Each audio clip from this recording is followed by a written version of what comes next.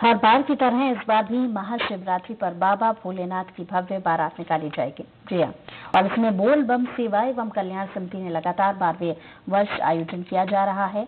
वहीं इसकी तैयारियाँ भी शुरू होने लगी हैं जिसमें प्रदेश के लोग भिलाई में एकत्रित हो, हो रहे हैं जहाँ से शिव जी की बारात निकाली जाएगी और इसका लोगों के आ, लोगों को बेसब्री से इंतज़ार है। वहीं इन दिनों जी रोड पर फ्लाई ओवर का निर्माण प्रगति पर है। और जिस रास्ते से बारात निकाली जाएगी समिति के लोगों ने भव्य बारात का आयोजन करने की बात कही है। समिति के अध्यक्ष दया सिंह ने बताया है कि महाशिवरात्रि के पूर्व 14 फरवरी को हिमाचल प्रदेश के गायक हंसराज रघुवंशी का खुर्सी पार आईटीआई ग्राउंड में कार्यक्रम के माध्यम से लोगों को बाबा की बारात में शामिल होने की अपील है। वहीं बाबा की बारात के लिए इक्कीस हज़ार निमंत्रण पत्र बांटे गए हैं।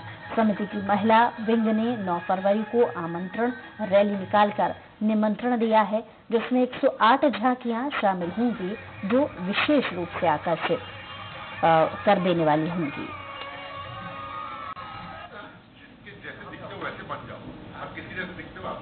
महाशिवरात्रि पे इस बार हमने जो 108 झांकियाँ होती थी तो 108 झांकियाँ मतलब 4000 से ज़्यादा लोग आपको राम रावण विभीषण, भूत पिचास राक्षस बने नज़र आएँगे अलग अलग मुद्रा में। इसके अलावा हमने देश से, तीन अलग अलग प्रदेश से हमने आंध्र प्रदेश का, कोया नृत्य, जो इकतालीस लोगों का है, जो भोले शंकर के अलग अलग मुद्रा में आपको नृत्य करते हुए।